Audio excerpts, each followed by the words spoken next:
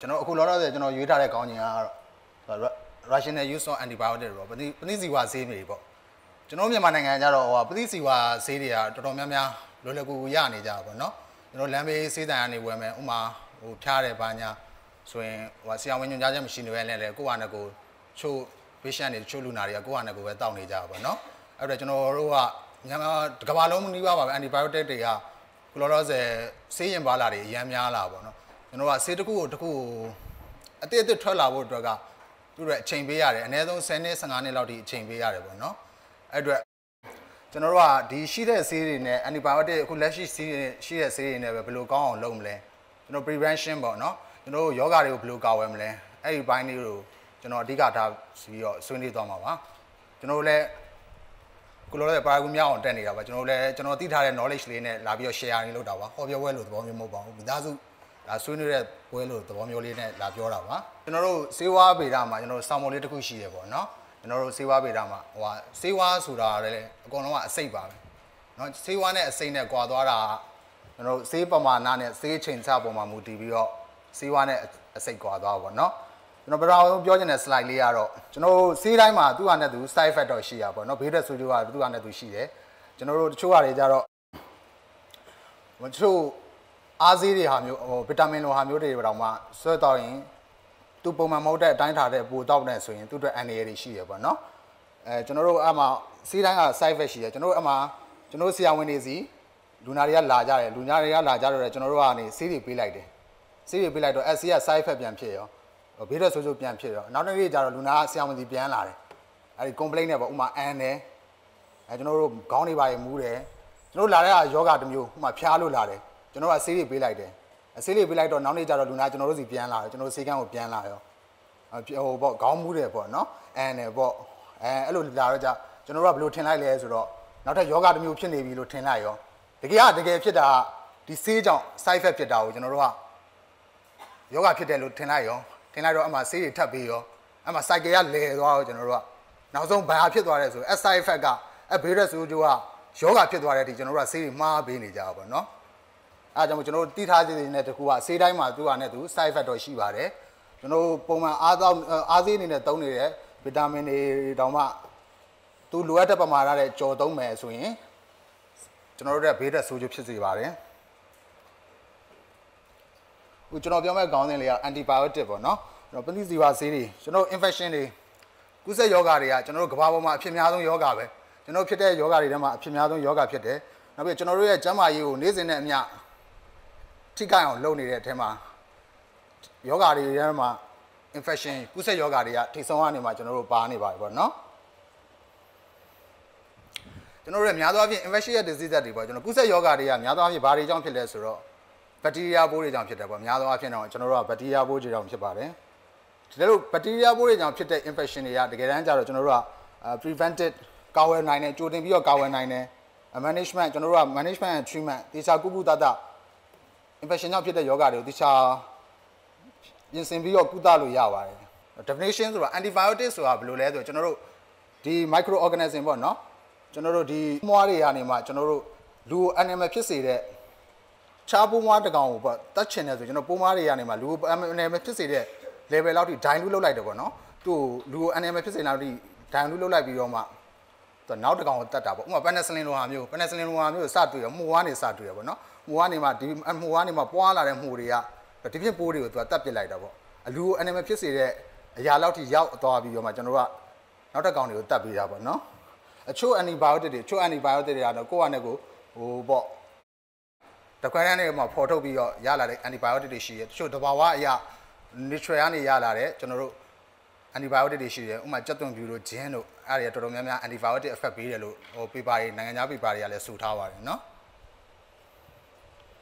antibiotic တွေကိုကျွန်တော်တို့ပနိစီဝါဆေးတွေကိုဘယ်လို classification ဘယ်လိုမျိုးစားခွဲခြားကြမလဲပေါ့နော်အဓိကအပြင် antibiotic ကိုကျွန်တော်တို့က၃မျိုးပေါ့ပထမတစ်မျိုးကကြတော့တော့ bacteria spectrum လို့ခေါ်ရပေါ့ကျွန်တော်ပိုးမွားဘယ်လောက်ထိကာဝါပေးနိုင်နိုင်ပေါ့ပိုးမွားတွေ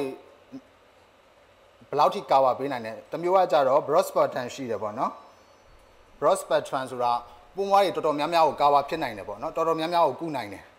narrow spectrum ဆိုတာသူ့ရဲ့ သူသတ်မှတ်ထားရတဲ့အဲ့ဒီ antibiotic ကဒီသတ်မှတ်ထားတဲ့ပိုးမွားကိုပဲကုနိုင်တယ်ပေါ့နော် broad spectrum ကကြတော့တော်တော်ကြဲကြဲပြန့်ပြန့်ပေါ့ပိုးမွားတွေတော်တော်များများကိုသိစေနိုင်တယ်ပေါ့ narrow spectrum ကကြတော့ပိုးမွားအနေချင်းကိုပဲသူသတ်မှတ်ထားတဲ့ပိုးမွားအနေချင်းတွေကိုပဲသိစေနိုင်တယ်ပေါ့နောက်တစ်မျိုးအနေနဲ့က rule of administration ပေါ့ rule of administration ကကျွန်တော်ခန္ဓာကိုယ်ကိုဘယ်လိုသွင်းမလဲခန္ဓာကိုယ်ကိုဘယ်လိုဆေးတွေပေးမလဲသူကချို့က injectable injectable ဆိုတာကျွန်တော်တို့ IM ထိုးမယ်အသားဆေးထိုးမယ် IV ထိုးမယ်အကျော်ဆေးထိုးမယ်အဲ့ဒီကနေမှပေးလို့ရတယ်နောက်တနည်းမျိုးအများအဖြစ် oral ပါဇက်ကနေတိုက်မယ်ပေါ့အဲ့ဒီအဖြစ်ပေးလို့ရတယ်နောက်တမျိုးအနေနဲ့ဘယ်လိုခွဲတော့မလဲ type of activity type of activity ဆိုတာ bacteria side တဲ့အပူးမွားကို bacteria ကိုတက်ပစ်လိုက်တာပေါ့နော်တေးအောင်တက်ပစ်လိုက်တဲ့အမျိုးအစားတွေရှိတယ်နောက်တစ်မျိုးစားတွေကဘာတွေရှိလဲဆိုတော့ bacteriostatic တေးအောင်မတက်ဘူးတော့သူပွားလာတာပွားလာတာကိုရက်ပစ်လိုက်တယ်ပေါ့နော်ပွားလာတာပွားလာတာကိုရက်ပစ်လိုက်ပြီးကိုယ့်ရဲ့ immune system ကိုယ့်ရဲ့ကိုယ်ခံစွမ်းအားစနစ်ကကောင်းလာတဲ့အချိန်မှာသူ့ဟာနဲ့သူပြန်တိုက်သွားတာပေါ့နော်ကျွန်တော်တို့ကဘေးကနေ supported နေနေပဲပေးရတာပေါ့နော်ဟိုအဲ့ဒီလိုမျိုးစား antibiotic တွေရှိပါတယ်သူ antibiotic တွေဘယ်လိုလုပ်လဲခန္ဓာကိုယ်ပေါ်မှာကျွန်တော်တို့ဆေးတစ်ခုပေးလိုက်မယ်ဆိုခန္ဓာကိုယ်ပေါ်မှာသူကဆေးကနေအလုပ်ပြန်လုပ်တယ်အဲ့တော့ antibiotic တွေဘယ်လိုအလုပ်လုပ်လဲနှစ်မျိုးနဲ့လုပ်လုပ်ပါတယ်ပထမတစ်မျိုးက bacteria side antibiotic ပေါ့ bacteria side ဆိုခုနကကျွန်တော်တို့ပြောသလိုအဘက်တီးရီးယားတွေကိုတေးအောင်တက်ပစ်လိုက်တာပေါ့နော်ဘာမျိုးစားတွေပါမလဲ penicillin တွေပါမယ် datomycin တွေ datomycin တွေပါမယ် fluoroquinolone တွေပါမယ် metronidazole တွေပါမယ် nitrofuran twine တွေပါတယ်ကို trambuzazole တွေပါတယ်နောက်ပြီးကျွန်တော်တို့သိကြ penicillin တွေသိကြတယ် metro တို့ဘာလို့သိကြတယ်ပေါ့နော်အကောင်တွေကကျွန်တော်တို့ကဘက်တီးရီးယားပိုးတွေကိုခန္ဓာကိုယ်ထဲမှာရှိတဲ့ယောဂဖြစ်စေတဲ့ဘက်တီးရီးယားပိုးတွေကိုသူကတက်ပစ်လိုက်တော့ပေါ့တေးအောင်တက်ပစ်လိုက်တော့ပေါ့နောက်တစ်မျိုးစားကကြတော့ခန္ဓာကိုယ်မှာဘယ်လိုလဲ bacteriostatic က ဘက်တီးရီးယားပိုးတွေပွားလာတာကိုသူကရက်ပစ်လိုက်တယ်ပေါ့ခန္ဓာကိုယ်တွေကဝင်ထားတဲ့ဘက်တီးရီးယားကို infection ဖြစ်ထားတဲ့ဘက်တီးရီးယားတွေကိုထပ်ပွားမလာအောင်လုပ်လိုက်တဲ့ antibiotic တွေရှိရပေါ့နော်အမျိုးအစားတွေကဘာတွေပါလဲဆိုဥမာ tetracycline တော်တော်များများသိကြပါတယ် tetracycline ပါမယ် sulfonamide တွေပါမယ် trimethoprim တွေပါမယ် chlorphenicol လို့ပါတယ် cicol တွေပါမယ်ပေါ့နော် macrolide အုပ်စုတွေပါမယ် lincomycin အုပ်စုတွေပါမယ်နော်အဲ့အဲ့အုပ်စုတွေကကျွန်တော်တို့ကသူကခန္ဓာကိုယ်မှာရှိတဲ့ဘက်တီးရီးယားပိုးတွေတေးအောင်မတတ်နိုင်မှန်းလည်းသူက ပွားတာကိုရက်လိုက်တယ်ပွားတာကိုရက်လိုက်ပြီးကိုယ့်ရဲ့ immune system ကိုယ်ခံစွမ်းအား system ကိုယ်ခံစွမ်းအားကောင်းလာတယ်သူကလည်းသူအလိုတလျှောက်ခန္ဓာကိုယ်ကနေပြန်တက်သွားတာပေါ့နော်ဒါ Alexander Freeman အကုန်လုံးသိတဲ့ဒါပဲ penicillin ကိုရှာဖွေတွေ့ရှိခဲ့သူပါသူပြောသွားတဲ့တစ်ခုလေးပါသူကသူပြောသွားတဲ့စကားလေးကကြတော့သူက one sentence fine one one is not looking for သူကအမတ်တမဲ့ရှာဖွေတွေ့ရှိတယ်လို့ပေါ့နော်သူအဲ့ဒီ penicillin ကိုသူစားထားတဲ့ပေါင်ပုံလေးကဒီမှာအဲ့ဒီသူမွေးထားတယ်ပေါ့သူ research လုပ်ထားတယ်သိစေနာလုပ်ထားတဲ့ကာချာလုပ်ထားပေါ့ကျွန်တော်တို့ပိုးတွေပါမွေးရမယ်ဆိုရင်ကာချာလေးနဲ့မွေးရတယ်ပေါ့နော်အပိုးမွေးထားတာသူစားထားတဲ့ပေါင်ပုံစလေးပေါ့သူ research ခန်းထဲမှာသူကပေါင်ပုံလေးနဲ့ရီလေးနဲ့ပဲသူကဝင်စားပြီးတော့ပဲ research လုပ်နေပေါ့အဲ့ပေါင်ပုံစလေးကဒီနေ့ကြံခဲ့ပြီးတော့အဲ့ပေါင်ပုံစမှာမှုတွေကပေါက်လာပေါ့ကျွန်တော်တို့စားလိုက်ရင်အစားလေးကြံခဲ့တယ်ဆိုရင်သူမှုတွေပေါက်လာအဲ့မှုတွေကဘာဖြစ်လဲဆိုတော့သူမွေးထားတဲ့ပိုးတွေကိုတွားပြီးတော့တတ်လိုက်တယ်လို့ပုံစံမျိုးဖြစ်လေသွားပေါ့အဲ့မှာသူက penicillin ကိုကျွန်တော်တို့စတင်ပြီးတော့ရှာဖွေတွေ့ရှိခဲ့တယ်ပေါ့နော် ဒါစာ Alexander Freeman ရဲ့ပုံလေးပါသူရဲ့ penicillin သူရဲ့ research ခန်းလေးထဲပါပေါ့နော်ဒါခုနကပြောတဲ့ကျွန်တော်တို့ဒါသူစားတဲ့ပေါင်မုံကမှုကနေမှဒါသူမွေးထားတဲ့ပိုးတွေကိုသူကဒါတက်ပစ်လိုက်တဲ့ပုံစံမျိုးလေးပေါ့နော်အဲ့ဒါလေးကိုသွားတွေ့သွားမှာ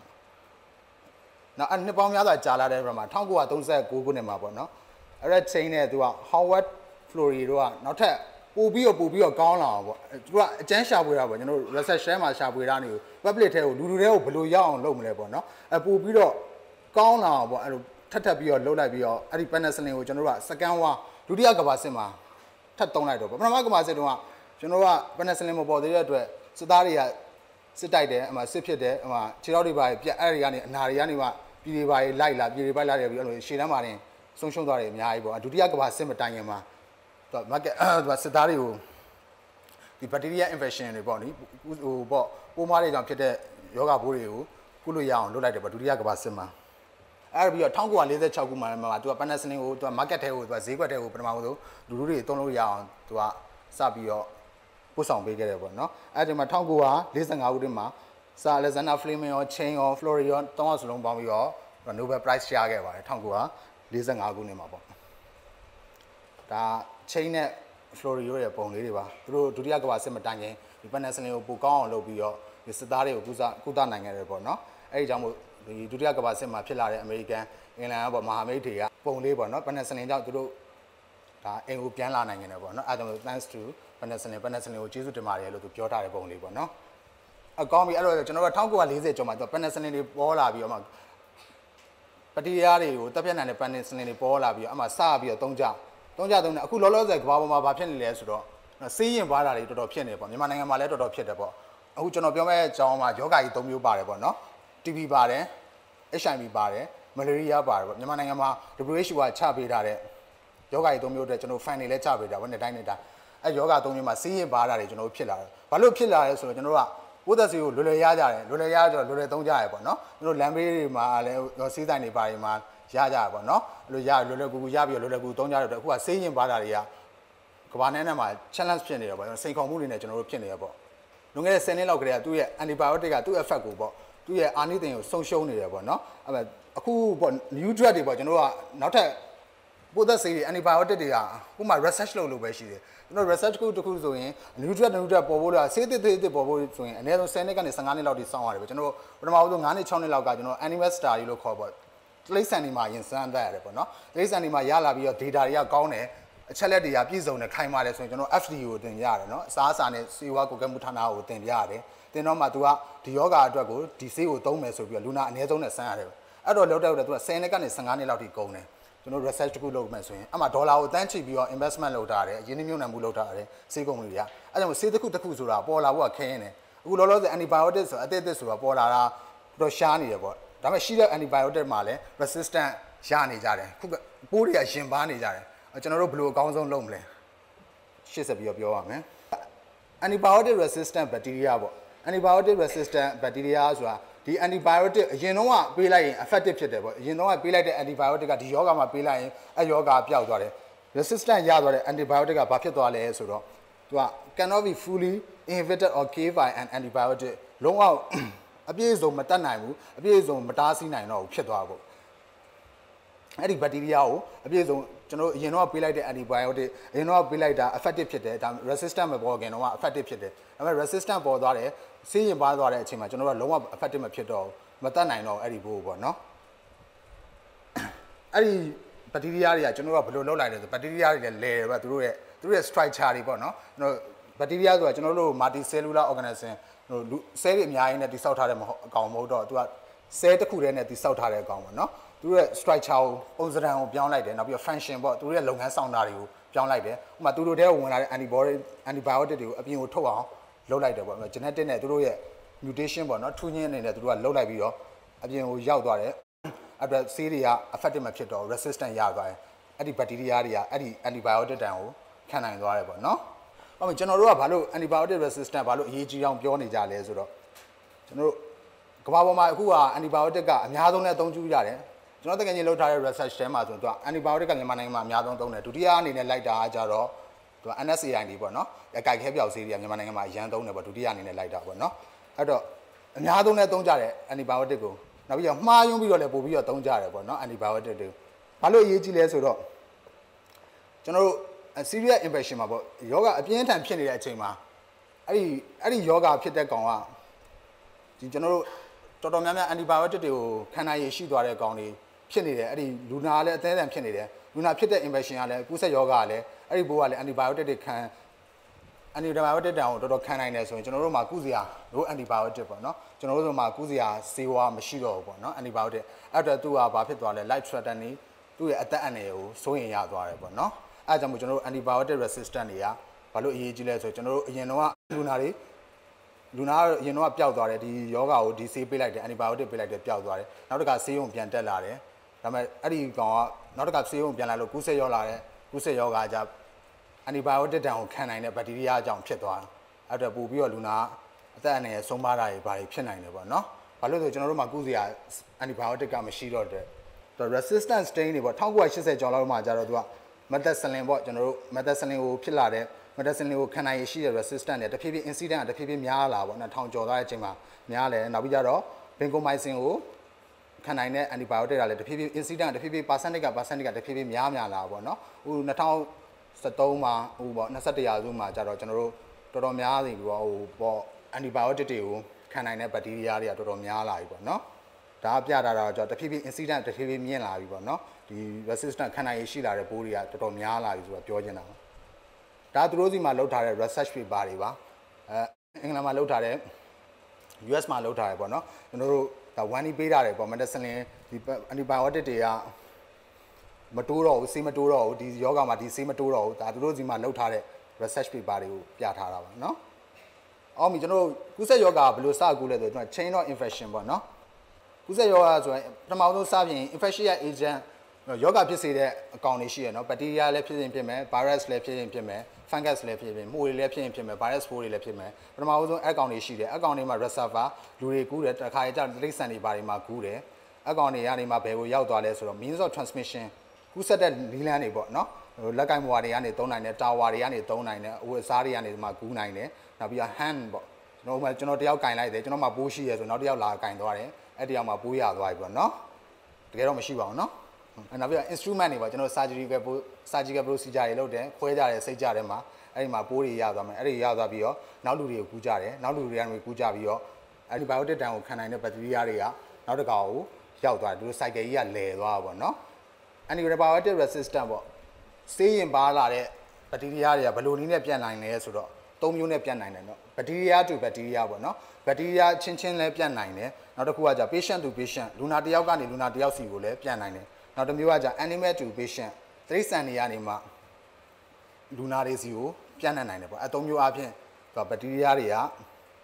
ဆေးရင်ပါနေတဲ့ဘက်တီးရီးယားတွေကပေါ့ antibiotic တွေကိုဒဏ်ခံနိုင်တဲ့ဘက်တီးရီးယားတွေကအသုံးမျိုးနဲ့ပြန့်နိုင်တယ်ပေါ့နော်ပထမဆုံးကဘက်တီးရီးယားအချင်းချင်းလည်းပြန့်နှံ့နိုင်တယ်နောက်တစ်ချက်က patient to patient လူနာအချင်းတယောက်ကနေလူနာတယောက်စီကိုလည်းကူးစက်နိုင်တယ်နောက်တစ်ချက်က animal to patient တိရစ္ဆာန်တွေကနေမှလူနာတွေစီကိုလည်းကူးစက်နိုင်တယ်ပေါ့အဲသုံးမျိုးအပြင် ယောဂဘူးကပြန့်နှံ့နိုင်တယ်ပေါ့နော်ကျွန်တော်တို့ emergence of antimicrobial resistant antimicrobial resistant တွေဘယ်လိုပေါ်လာလဲဘယ်လိုပေါ်လာဆို susceptible bacteria ရှိရယ် susceptible bacteria ဆိုအဲ့ဒီကောင်လေးကဘက်တီးရီးယားအဲ့ဒီဘက်တီးရီးယားကျွန်တော်တို့ antibiotic တန်ကိုခံနိုင်တယ်ခံနိုင်တဲ့အတွက် mutation ဖြစ်သွားတယ်သူ့ရဲ့ genetic မှာမျိုးရိုးဗီဇမှာအဲ့ဒီဘက်တီးရီးယားလေးက mutation ဖြစ်သွားတယ်ထွန်းချင်းဖြစ်သွားတယ်ထွန်းချင်းပြီးပြီး new resistant ဘက်တီးရီးယားလေးရသွားတယ်ပေါ့နော်အဲ့ဘယ်လိုရနောက်တစ်ကောင်ကိုကျွန်တော်တို့အဲ့ဒီထွန်းချင်းဖြစ်လာတဲ့ genetic လေးပေါ့နော်မျိုးရိုးဗီဇလေးကိုနောက်တစ်ကောင်ကိုထည့်ပေးလိုက်တယ်အဲ့အတွက်နောက်တစ်ဘက်တီးရီးယားတစ်ကောင်ထပ်ပေါ်လာပေါ့နော်သူ့ရဲ့ genetic မှာပေါ့မျိုးရိုးဗီဇလေးမှာအဲ့ဘက်တီးရီးယားက changes ဖြစ်သွားပြီးတော့နောက်တစ်ကောင်ကိုသူ့ရဲ့အဲ့ဒီဆေးတံကိုခံနိုင်တဲ့မျိုးရိုးဗီဇလေးကိုနောက်တစ်ကောင်ကိုထည့်ပေးလိုက်တဲ့အတွက်တဖြည်းဖြည်းတစ်ကောင်နဲ့နေတစ်ကောင်ကူးများပြီးတော့ပွားလာတယ်ပေါ့နော် slashing bot antimicrobial resistance link ကကြတော့ ဒီတစ်ကောင်ကဘာမှမဖြစ်သေးဘူးသူက strain လေးကနည်းနည်းလေးပဲရှိသေးတယ်မျိုးဗီဇ antibiotic ကိုခံနိုင်တဲ့မျိုးဗီဇလေးကနည်းနည်းလေးပဲရှိသေးတယ်နည်းနည်းလေးပဲရှိသေးတဲ့အချိန်မှာကျွန်တော်တို့ကဘာသွားလုပ်လိုက်လဲဆိုတော့ antimicrobial exposure ဆိုတာပိုးသက်ဆေးတွေသွားပေးလိုက်တယ်ပိုးသက်ဆေးတွေပေးသွားတဲ့အချိန်မှာအဲ့ဒီပိုးသက်ဆေးပေးလိုက်လို့ကြံနေတဲ့အကောင်တွေကထပ်ထပ်ပြီးတော့ပွားလာပွားလာပြီးတော့ပို့ပြီးတော့များလာပေါ့နော်ဒီဆေးတံကို antibiotic တံကိုခံနိုင်တဲ့မျိုးဗီဇလေးတွေကပို့ပြီးတော့ပွားပွားလာတယ် transfer of antibiotic resistant gene ကျွန်တော်မျိုးဗီဇပဏိစီဝါဆေးတံတွေကိုခံနိုင်တဲ့ကျွန်တော်မျိုးဗီဇတွေကဘယ်လိုဘယ်လိုဘယ်လိုပွားကြလဲဘယ်လို transfer လုပ်ကြလဲပေါ့တယောက်ကနေတစ်ကောင်ကနေတစ်ကောင်ဘယ်လိုပြောင်းကြလဲပေါ့နော် particularly to daughter cell ဒီ cell လေးပေါ့ဒီ bacteria ရဲ့ cell လေးကနေမှသူ့ရဲ့ daughter cell သူ့ရဲ့နောက်ထပ် cell တစ်ကောင်ကိုပွားလိုက်ပြီးတော့လေပြန့်နှံ့နိုင်တယ်အဲ့ဒီ resistant gene တွေပေါ့နော်ကျွန်တော်တို့မျိုးဗီဇ antibiotic ကိုခံနိုင်တဲ့ မျိုးဗီဇတွေရတယ်ဒီကောင်ကနေမှနောက်တစ်ကောင်ကိုမွေးလိုက်ပြီးတော့အဲ့ဒီကောင်မှလည်းဖြစ်နိုင်တယ်နောက်တစ်ခုကအကောင်ကကြတော့နည်းနည်းနှေးတယ်ပေါ့ပွားများတာနှေးတယ်ပေါ့နော်နောက်တစ်မျိုးကကြတော့ horizontally မှာဆိုရင်သူကအခြားဘက်တီးရီးယားတွေကိုပါအဲ့ဒီဟိုပဏိစီဝါဆေးတံကိုခံနိုင်တဲ့မျိုးဗီဇလေးကိုခြားဘက်တီးရီးယားတွေကိုပေးလိုက်တဲ့အချိန်မှာပို့ပြီးတော့များလာပေါ့များလာပြီးတော့အကောင်မြန်လဲမြန်တယ်နောက်ပြီးတော့ပို့ပြီးတော့လည်းများလာတယ်ပေါ့ပို့ပြီးတော့လည်းပွားများလာတာလည်းများလာတယ်ပေါ့နော် အဲ့ချိန်မှာကျွန်တော်တို့က use of antimicrobial agent ဆို antibiotic တွေကိုသုံးလိုက်မယ်သုံးလိုက်တယ်ဘာလို့သုံးလိုက်လဲဆိုတော့တက်ချင်လို့ case suspected organism ဆိုတာအဲ့ဒီကောင်ကိုသိချင်လို့ကျွန်တော်တို့က antibiotic ကိုသုံးလိုက်တယ် antimicrobial agent ဆိုတာလည်းအတူတူပါပဲ antibiotic ကိုသုံးလိုက်တယ်သုံးလိုက်တဲ့အချိန်မှာအဲ့ဒီကောင်ကတည်သွားတယ်တည်သွားတဲ့အချိန်မှာအကုန်လုံးမတည်ဘဲနဲ့ကြံခဲ့တယ်ပေါ့နော်ကြံခဲ့တယ် remain resistant organism ဆိုတာခန္ဓာကိုယ်ထဲမှာနည်းနည်းကြံခဲ့တယ်ကြံခဲ့တဲ့အချိန်မှာအဲ့ဒီကောင်ပြန်ပြီးတော့ပွားများလာတယ် multiply ဆိုတာအဲ့ဒီကောင်ကကြံခဲ့တဲ့ကောင် ကျွန်တော်တို့ကယောဂဖြစ်တယ်ဆိုရင်အဲ့ဒီကောင်ကိုတေးအောင်တတ်လိုက်တယ်ဒါပေမဲ့ပိုးတွေကကြံခဲ့တယ်ဆိုရင်အဲ့ဒီကြံခဲ့တဲ့ပိုးတွေကပွားများလာအပွားများလာတဲ့ပိုးကပို့ပြီးတော့ကြောက်စရာကောင်းတယ်ပေါ့နော်ပို့ပြီးတော့ကြောက်စရာကောင်းတယ်နောက်ပြီးတော့ဘာဖြစ်လဲဆိုတော့ပို့ပြီးတော့ပို့ပြီးတော့ more and more resistant organism ဆိုတာဒီဆေးတံကိုခံနိုင်တဲ့ antibiotic တွေကိုခံနိုင်တဲ့ organism တွေကိုထပ်ထပ်ပြီးတော့ပွားပွားလာပေါ့နော် resistant တွေစတာတဲ့ resistant တွေစရတာတဲ့ brief history လေးပေါ့နော်အကျန်းလေးပေါ့ penicillin က1940မှာစပြီးတော့ discover လုပ်တယ် ဟိုကဖြစ်တာကတော့ resistant ရတာ1940မှာပဲရတယ်လို့ပြောထားပါတယ်စပေါ်တာပဲ40မှာပဲပေါ်တယ်40မှာပဲရတာတယ် stratomycin ကတော့1944ခုနှစ်မှာရှာဖွေတွေ့ရှိထားပြီးတော့ကျွန်တော် market ထဲကိုရောက်မှာ48ခုနှစ်ရောက်တယ်48ခုနှစ်မှာပဲကျွန်တော် resistant ရသွားပါတယ် tetracycline ကလည်း48နှစ်မှာ1948ခုမှာရှာဖွေတွေ့ရှိပြီးတော့56ခုနှစ်မှာကျွန်တော်တို့က resistant ရသွားတယ်။ emycin တို့ vancomycin တို့အတူတူပါပဲ1956ခုနှစ်မှာ resistant ရတယ်။ vancomycin ကကြ1988ခုနှစ်မှာ resistant ရတယ်။ gentamicin က1980မှာ resistant ရသွားပါတယ်။ antimicrobial resistant ကျွန်တော်ပဏိစီဝါဆေးတွေဆေးရင်ပါလာရင်နောက်ဆက်တွဲဘာတွေဖြစ်လာမလဲပေါ့ကျွန်တော်ကဆေးတစ်ခုကိုဥပရှင်တစ်ခုကိုယောဂကုသယောဂတစ်ခုကိုကျွန်တော်တို့ကဆေးပေးလိုက်မယ်ဆေးပေးလိုက်တဲ့နေမှာ first line အနေနဲ့ပေးမှာပေါ့ပထမဆုံး first line first line ပေးလိုက်တယ်ပထမဆုံးဆေးပေးလိုက်တယ်ဆေးပေးလိုက် resistant နေရလာတယ်ဆိုပို့ပြီးတော့ ကုန်ကြစိတ်တွေများလာပေါ့နော်ဆေးကူသားစုမှာကုန်ကြစိတ်တွေများများလာပေါ့ပထမပေးလိုက်တဲ့ဟာ resistant ရသွားတဲ့အကောင်ကူးဆက်ခံနေရရဆိုရင်ပို့ပြီးတော့ပို့ပြီးတော့နော် antibiotic အကောင်းစားတွေအပြင်းစားတွေပို့ပြီးတော့သုံးရတယ်သုံးရတဲ့အတွက်ပို့ပြီးတော့ကုန်စားစိတ်တွေလူနာအတွက်လည်းကုန်စားစိတ်တွေပို့ပြီးတော့များများလာတယ်ပေါ့နော်စပြတော့ first line နေတယ်ပြီးရင်တော့ဒေါ်လာ1000အောက်ပဲကြာရပေါ့နော်အဲ second line third line ဒုတိယအမျိုးအစားပေးမယ်တတိယအမျိုးအစားပေးမယ်ဆိုရင်ဒေါ်လာ9000လောက်နီးနီးလောက်ထိတွားကြမယ်ပေါ့နော် အဲ့အတွက်သူရဲ့လူနာအတွက်ကုန်ကြစိတ်ကလည်းပို့ပို့ပြီးတော့များများလာမယ်နော်နောက်တစ်ချက်ကျွန်တော်ဟိုဟာလေးကျွန်တော်မြန်မာနိုင်ငံမှာနည်းနည်း miss ဖြစ်နေတဲ့ဟာလေးပေါ့နော် hospital infection ဆိုတာကျွန်တော်ဆေးရုံတွေကနေမှကူးစက်ခံရတာပေါ့ယောဂဘုံသွားတွေ normal ဆေးရုံတွေမှာကူးစက်ခံရတဲ့ယောဂတွေကတော်တော်များများ antibiotic တန်တော်တော်များများပဏိစီဝဆေးတွေရဲ့ဒဏ်ကိုခံနိုင်သွားပြီပေါ့သူကဆေးရုံမှာအနေကြားလာတော့ဆေးရုံကကူးစက်တဲ့ကောင်တွေကတော်တော်များများ ပဏိစီဝဆေးတွေတော်တော်များများမတိုးတော့ဘူး hospital immersion ဒါ procedure was is success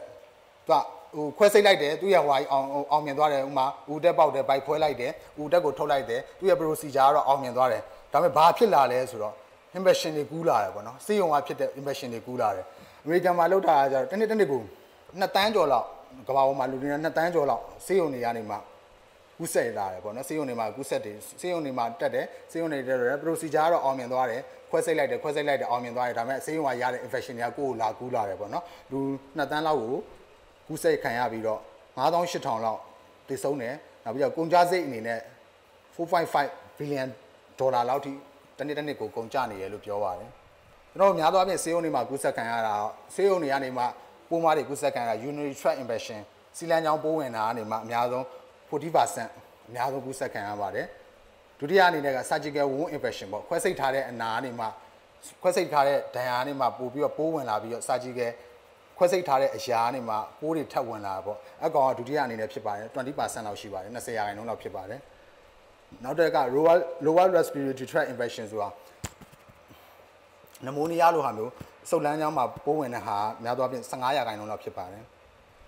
nosocomial bacteremia ဆိုတာအဲ့လိုပါလေစုပ်ကနေမှပိုးဝင်လာတဲ့5%လောက်ရှိပါတယ်။ဒါဒီပုံလေးကတော့ hospital acquired pneumonia ကိုပြထားတာပါ။စိတ်ဝင်တွေကအကောင်တွေအကြောင်းကျွန်တော်တို့နမိုနီးယားထက်ရသွားပေါ့ဆေးရုံကလူနာတက်တက်တက်တယ်သူကလည်းသူယောဂတစ်မျိုးနဲ့တက်တယ်စီယိုနဲ့တက်မယ်တွေးတိုးနဲ့တက်မယ်ဆေးရုံမှာရောက်သွားတော့မှပဲကျွန်တော်နောက်ထပ်ယောဂတစ်မျိုးထက်ရပါပေါ့နမိုနီးယားအဲ့လိုဆေးရုံတွေမှာတက်လာတဲ့ကောင်တွေကဆေးရုံတွေမှာတက်လာပြီးတော့ကူးစက်ခံရတဲ့ကောင်တွေက community တွေကိုပေါ့လူလူတွေကိုရောက်သွားရင် ပို့ပြီးတော့အန်ရများပါတယ်ဘာဖြစ်လဲဆိုတော့သူက multi drug resistant pathogen တွေဖြစ်သွားတယ်ဘာဖြစ်လဲဆိုတော့ဆေးတော်တော်များများကိုသူတို့ကခံနိုင်ရရှိသွားတယ်အဲ့ဒီကောင်တွေကအဲစိတ်တော်တော်များများကိုခံနိုင်ရရှိသွားတယ်ဆိုသူတို့က community တွေပေါ့လူလူတွေကိုရောက်လာမယ်ဆိုလူလူတွေကိုလူလူတွေကိုရောက်လာမယ်ဆိုရင်အကောင်တွေလူလူတွေကိုကူးစက်ခံရမယ်ဆိုရင်ပို့ပြီးတော့ကြောက်လဲကြောက်ရပါတယ်ပို့ပြီးတော့အန်နေလည်းများပါတယ်စိတ်ုံကကူးစက်ခံရတဲ့ကောင်တွေကအဲကျွန်တော်မြန်မာနိုင်ငံမှာအဓိက challenge ဖြစ်နေတာပါ multi drug resistant tuberculosis ဆိုတာတော်တော်များများဆေးရင်ပါ TB ပေါ့နော်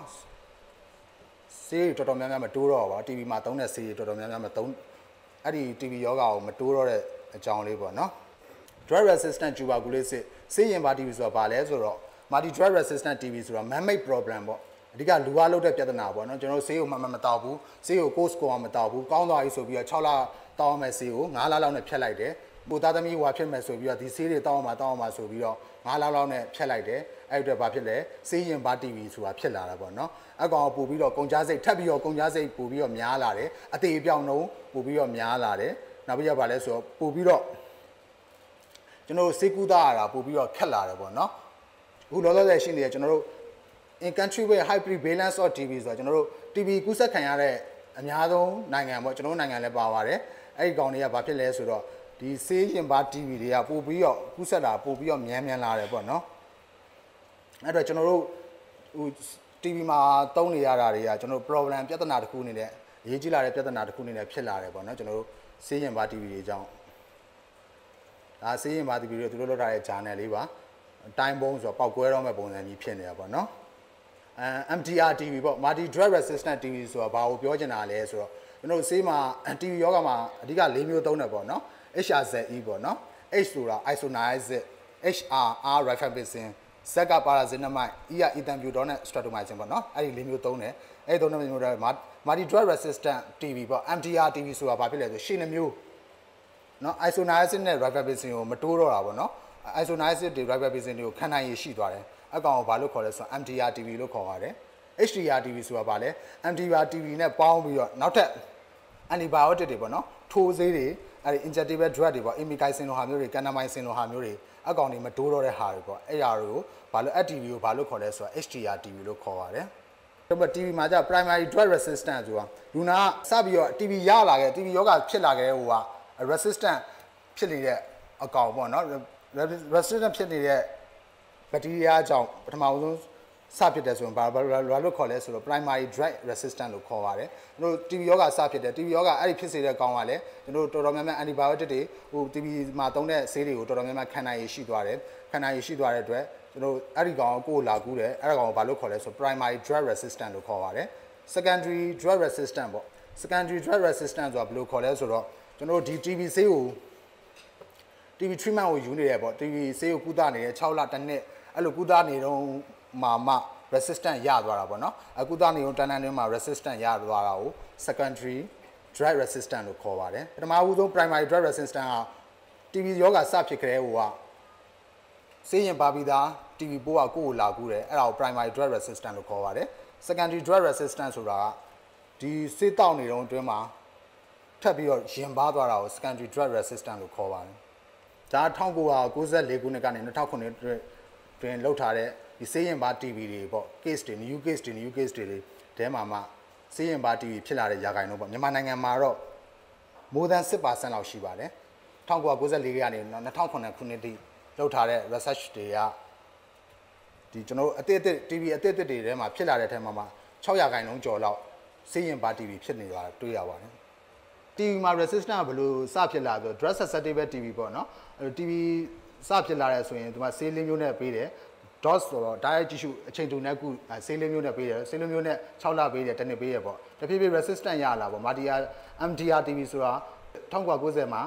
MDR TV စပြီးတော့ဖြစ်လာတယ် isoniazid နဲ့ rifampicin ကိုကျွန်တော် resistant ရလာပေါ့ခန္ဓာရည်ရှိသွားတယ်အမှအဲ့အတွက်ကျွန်တော်ကဒုတိယအနေနဲ့ပါစင်းတယ်လို့ခုနပြောလို့ second line drug တွေပေါ့ဒုတိယအမျိုးအစားဆေးရည်နဲ့သုံးလာတယ်သုံးလာပြီးတော့ဘာလို့2006ခုနှစ်မှာတွေ့ရတော့ HDR TV ပေါ့ HDR TV မှာဘယ်လိုစဘယ်လိုတွေ့ရလဲဆိုတော့သူကဒုတိယအမျိုးအစား ဆေးတွေ resistant ရသွားတယ်အဲ့အတွက်ကျွန်တော်တို့ကကုသရတာတော်တော်ခက်သွားတယ်ပေါ့နော်နောက်ဆုံးလုံးဝဘယ်လိုဖြစ်သွားလဲဆို total drug resistant လုံးဝကို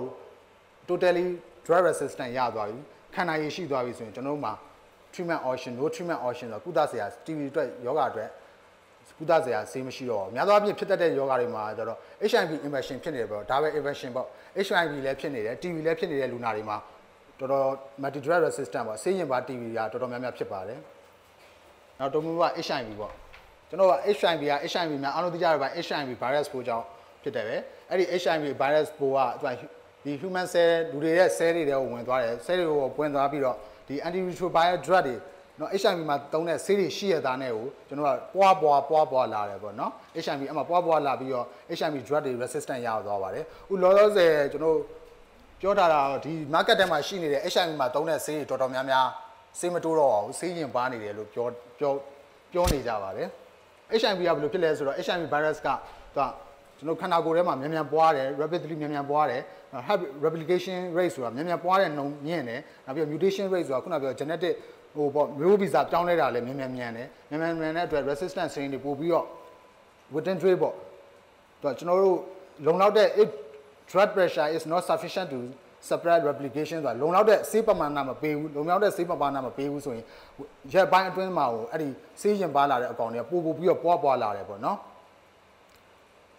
အဲတကယ်လို့ပေးနေတဲ့ဆေးကိုရက်ပစ်လိုက်မယ်ကျွန်တော် HIV သမားတွေကြတော့ကျွန်တော်ဆေးကိုဆွဲတော့ရပေါ့လောင်းလောင်းတန်းပေါ့နော်ကျွန်တော်တေဟိုတော့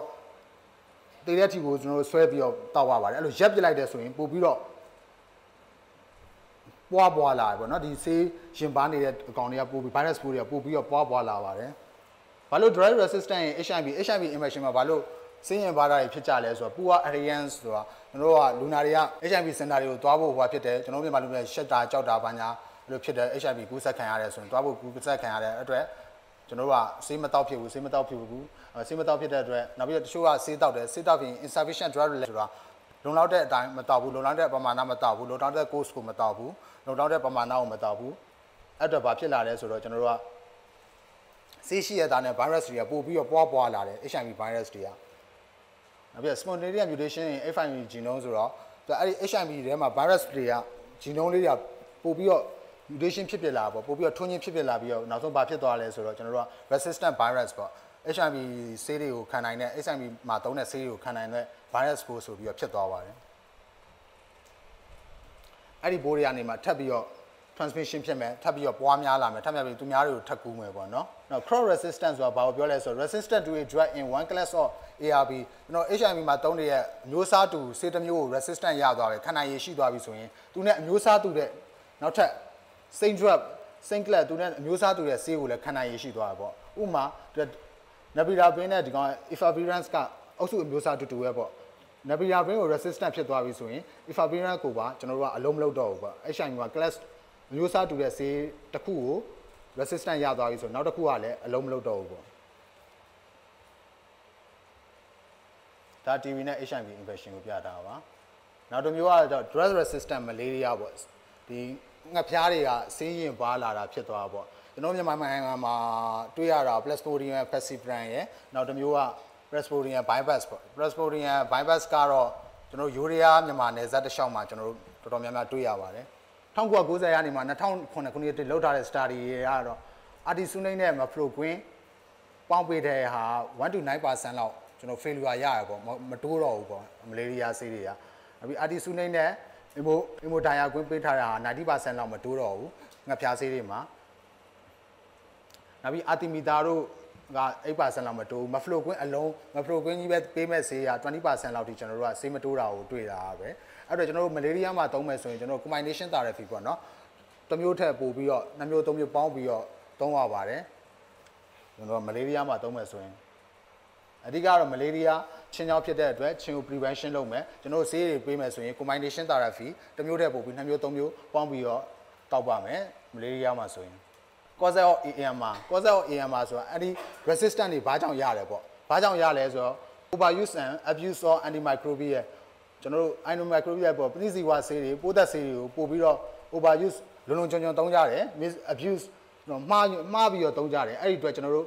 ပဋိပဋိဇီဝဆေးတွေပိုးသက်ဆေးတွေ resistant ရကြတယ်ပေါ့ poor prescribe ဆိုတာကျွန်တော်တို့ပေးတယ်ကျွန်တော်တို့ဆရာဝန်တွေကိုယ်တိုင်ကချို့နည်းနည်းပါးပါးပေးလိုက်တယ် short ကို နော်တရက်နှစ်ရက်ပေးလိုက်တယ်လူနာပျောက်သွားတယ်ပျောက်သွားတော့စတေကန်ကိုပြန်မလာတော့ဘူးစတေကန်ကိုပြန်လာတယ်အဲ့ဒီကောင်တွေကနေထပ်ပြီးတော့ resistant ရသွားတယ်ပေါ့နော်လက်တော့ area to prescribe medicine ကျွန်တော်ပေးထားတဲ့ဆေးတွေကိုကောင်းကောင်းမတောက်ဘူးမတောက်တဲ့အတွက် resistant ရတယ်နောက်တော့ patient demand လူနာကကိုယ် demand လုပ်တယ်ဟိုမှာ2ရက်လောက်ပဲတောက်ချင်တယ်3ရက်လောက်ပဲတောက်ချင်တယ်ဟိုကနောက်ပြီးတော့ကိုကဆေးပေးလိုက်တယ်9ရက်တစ်ပတ်ပေးလိုက်တယ်လူနာပျောက်သွားပြီဆို2ရက်3ရက်လောက်ပဲတောက်ပြီးတော့ထပ်ပြီးတော့မတောက်တော့ဘူးအဲ့ဒီအတွက် resistant ရတယ်နောက်တစ်ချက်က economic စီးပွားရေးကြောင့်ပေါ့နော်ကျွန်တော်ကဟိုဆေးဟိုပေါ့ကျွန်တော်ကတပတ်10ရက်လောက်တောက်ပါလို့ပြောရင်အဲလူနာဟိုပတ်သက်မရှိလို့2ရက်3ရက်လောက်ပဲတောက်ပြီးတော့ပျောက်သွားပြီဆိုမတောက်တော့ဘူးအဲ့အတွက်ကျွန်တော်တို့က resistant တွေရလာပေါ့နော်နောက်ပြီးတော့ unregulated ability of antimicrobial ဆိုတာကျွန်တော်ပိုးသက်ဆေးတွေလုံလုံလောက်လောက်မရတာကျွန်တော်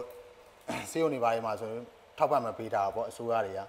နောက် poor quality medicine ဆိုတော့ကျွန်တော်တို့ကျွန်တော်တို့သုံးတဲ့ဆေးတွေ ကျွန်တော်တို့ပဏိစီဝါဆေးတွေကအရည်သွေးနှိမ့်တာပေါ့နော်အဲ့ဒီအတွက်ကျွန်တော်တို့က resistant တွေရလာတယ်ပေါ့နော်ဆေးရင်ပါတီဆေးရင်ပါလာတာတွေများလာတယ်ပေါ့နောက်ဒုတိယအချက်ကဘာလဲဆိုတော့ inadequate infection control ရင် hospital ဆေးရုံတွေမှာဒီရောကူးစက်ရောဂါတွေကိုကျွန်တော်တို့ကကောင်းကောင်းမထိန်းချုပ်နိုင်ဘူးနောက်တစ်ချက်ကဘာလဲဒီကျွန်တော်ပဏိစီဝါဆေးတွေကိုသုံးစွဲဖို့အတွက်ကျွန်တော်တို့က health care system တွေမလုံလောက်ဘူးပေါ့နော်အဲ့ဒီအတွက် resistant တွေရတယ်နောက်ပြီး lack of knowledge ဘိုင်း prescriber and user စေးသုံးဆွဲတဲ့သူတွေကိုယ်တိုင်ခါကြတော့ စေးပေးတဲ့လူတွေကိုယ်တိုင်ဟိုက knowledge မရှိဘူးပေါ့နော်အဲ့အတွက်ကျွန်တော်တို့က resistant တွေရတယ်နောက်တစ်ခုက pharmaceutical company တွေရဲ့ advertising ပေါ့နော်ကျွန်တော်ဆေးဝါးဆေးဝါး company တွေရဲ့လွှမ်းမိုးမှုကြောင့်ကျွန်တော်တို့ကကြော်ညာတွေလွှမ်းမိုးမှုတွေကြောင့်ကျွန်တော်တို့က resistant တွေရပါဘောเนาะအမောက်စလေးတောက်တယ်ဘာဖြစ်တယ်ညာဖြစ်တယ်နဲ့ပေါ့เนาะ pharmaceutical company တွေရဲ့လွှမ်းမိုးမှုတွေကြောင့်ကျွန်တော်တို့က resistant တွေကရတယ်ပေါ့เนาะနောက်ပြီး cause နံပါတ်3ကじゃ training deficiency ပေါ့เนาะ ကျွန်တော်တို့လက်တွေကို training မပေးနိုင်တာတခွက်ခန်းတွေကို training မပေးနိုင်တာ technician တွေရှားတာပေါ့နော်နောက်ပြီးတော့ diagnostic uncertain ဆိုတာယောဂမသေးကြတာပေါ့နော်ကျွန်တော်တို့များယောဂမသေးကြဘူးဒီကောင်ကြောင့်ဒီပိုးကြောင့်ဒီယောဂဖြစ်တာမှားတယ်ယောဂတွေ diagnostic တွေတက်တာမှားတယ်ပေါ့အဲ့ဒီအတွက်ကျွန်တော် resistant တွေရတယ်ပေါ့နော် formulation are not available ဆိုတော့ဒီယောဂမှာဒီစေးသုံးရမယ့်အစားမှားသုံးတယ်အဲ့ဒီအတွက်ကျွန်တော်တို့က resistant တွေရတယ်အဲ့တော့ fear of poor patient organ and need for reassurance ဆိုတော့ကျွန်တော်တို့ဆင်းရဲတဲ့ လူနာတွေမှာကျွန်တော်တို့ကဒီကုန်ကြစိတ်ကြီးကိုကြောက်နေတဲ့အတွက်ကျွန်တော်တို့က resistant တွေရတယ်ပေါ့နော် microbiological information ဆိုတာကျွန်တော်တို့ကများသောအားဖြင့်ကုသယောဂါတွေမှာဆိုရင်တက်ခွက်ကန်းနဲ့ပေါင်းပြီးတော့သုံးရတယ်ပေါ့နော်တက်ခွက်ကန်းကိုပို့ပို့ရတယ်ပို့မွေးရတယ်မိုးပြီးတော့မှကျွန်တော်တို့ကတက်ခွက်ကန်းရဲ့အဖြေရတော့မှဒီကောင်ကိုဒီ antibiotic နိုင်တယ်ဆိုဒီအဲ့ဒီပနိစီဝါစီကိုသုံးရတယ်အဲ့တော့ကျွန်တော်တို့ကဒီမှာကျတော့တော်တော်များများမသုံးကြဘူးဘာလို့တက်ခွက်ကန်းတွေဘာတွေမပို့ကြဘူးအမပို့ကြတဲ့အတွက်ကျွန်တော်တို့က resistant တွေပို့ပြီးတော့ရလာတယ်ပေါ့နော် now inappropriate use is a major contributor to resistant ရသေးတဲ့အကြောင်းအဓိကအချက်ကကျွန်တော်တို့က antibiotic တွေကိုတော်တော်များများသုံးကြတယ်နောက်ပြီးကြတော့ဗာလဲဆိုတော့မှားယွင်းနဲ့သုံးကြတယ်များသောအားဖြင့်20 to 50% 20ကနေ50ရာခိုင်နှုန်းကကျွန်တော်တို့ကပိုးသက်စီလူတွေမှာသုံးတဲ့20ကနေ50ရာခိုင်နှုန်းကပဋိစီဝါစီတကယ်လိုအပ်လားမလိုအပ်ဘဲသုံးနေတာတွေအများကြီးရှိပါတယ်20ကနေ50ရာခိုင်နှုန်းကမလိုအပ်ဘဲသုံးနေကြပါတယ်40ကနေ80ရာခိုင်နှုန်းစိတ်ဆန်နေမှာသုံးနေတဲ့40ကနေ80ရာခိုင်နှုန်းကတော်တော်မေးခွန်းထုတ်ရှိတဲ့အဖြစ်လာပါတယ်เนาะ ဒါလူမှသုံးထားတဲ့ပုံကိုပြပါပလိစီဝါစီတွေအများကြီးစားတယ်ပေါ့နော်ဒါဒါ agriculture ပေါ့နော်ဒီစိုက်ပျိုးရေးမှာသုံးတယ်ဟိုကတိရစ္ဆာန်တွေမှာသုံးတယ်ပေါ့နော်သူကတောက်ပါများလုံးနဲ့လူလူမဖြစ်တော့ဆေးဖြစ်လာဆေးဝိတ်ကပိုများလာပေါ့နော်ခန္ဓာကိုယ်အလေးချိန်အလေးချိန်နဲ့ဆေးရဲ့အလေးချိန်ကပိုများလာပေါ့နော်သူက antibiotic are not always the answer ဆိုတာပနိစီဝါဆေးကကျွန်တော်တို့ယောဂဖြစ်တိုင်းဥဆက်တဲ့ယောဂဖြစ်တိုင်းပနိစီဝါဆေးကအဖြေမှမဟုတ်ပါဘူးတဲ့ ကျွန်တော်အဲ့ချို့များသောအားဖြင့်ဆိုတော့ viral impression တွေပေါ့ viral virus ကြောင့်ဖြစ်တဲ့ဟာတွေပေါ့နော်ကျွန်တော်အခု sound rain လိုဟာမျိုးတွေ more rain လိုဟာမျိုးတွေမှာတုပ်ကွေးတွေဖြစ်တယ်အဲ့ဒီဟာတွေတော်တော်များများ virus ပိုးကြောင့်ဖြစ်တယ်ကျွန်တော် viral ပိုးကြောင့်ဖြစ်တဲ့အတွက် plesiwa ဆေးတွေအမောက်ဆေးတွေ metro တွေဘာညာတွေတုံးနေရင် affected မဖြစ်ဘူးပေါ့နော် antibiotic က cannot give viral illness ဆိုတော့သူက antibiotic ကျွန်တော်ပဏိစီဝါဆေးတွေဆိုတာက virus ပိုးတွေကိုမတတ်နိုင်ပါဘူးမတတ်နိုင်တဲ့အတွက်ကျွန်တော်တို့ကအများသောအားဖြင့် virus တွေကြောင့်ဖြစ်တဲ့ most sore throat လေချောင်းနာတာတွေနောက်ပြီးတော့ cough ချောင်းဆိုးတာတွေနာစီအေးမိတာတွေပေါ့နော်နောက်တစ်ချက်က sinusitis ဒီနာတွေရောင်နေနာတွေယိုတယ်နောက်ပြီး bronchitis လေညွန်ရောင်တာတွေနောက်တစ်ခုက flu တုပ်ကွေးတွေအကောင်တွေကတော်တော်များများများသောအားဖြင့် virus ပိုးတွေကြောင့်ဖြစ်တယ်အဲ့အတွက်သူ့မှာ antibiotic ကပေးစရာမလိုဘူးပေါ့သူ့ဘာနဲ့သူ set limiting ဆိုတာကျွန်တော် no special medical treatment ဆိုတာတော့စေးထူးထူးခြားခြားပေးနေစရာမလိုသူ့ကို